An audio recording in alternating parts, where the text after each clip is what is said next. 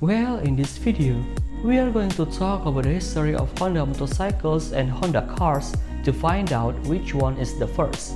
Not only that, we will also discuss the meaning of the two logos and why the two logos are different.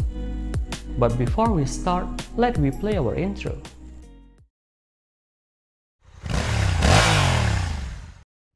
The story starts from the first motorcycle logo, the wing.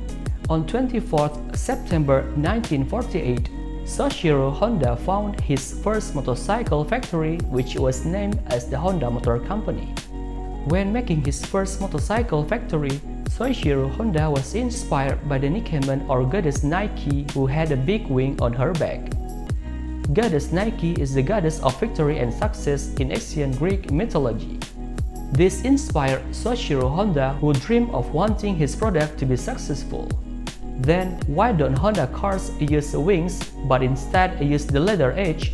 So historically, Soichiro Honda started making cars in 1962 by producing the Honda S360 and T360. But he wanted there to be a different logo between his motorcycle and his car, so he didn't want to put the exact same wing logo. Of course, the design of the Honda car logo at first was not what it is now.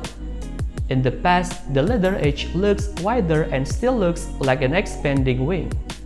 We can see on the first mass-produced car, the Honda T360, the letter H logo is not even an emblem but a very big motif on the face.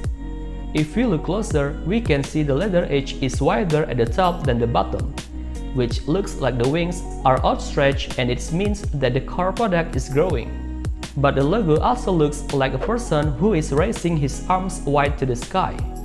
Looks like an optimistic person to face the world and achieve his dreams. That is what Honda wanted because it was in line with the company's motto, the power of dreams. Just like the Honda Wing logo on motorcycles which continues to develop, the Honda car logo also continues to change until the letter H is known today. So by the history above, we can conclude that Honda motorcycle is the first. That's it.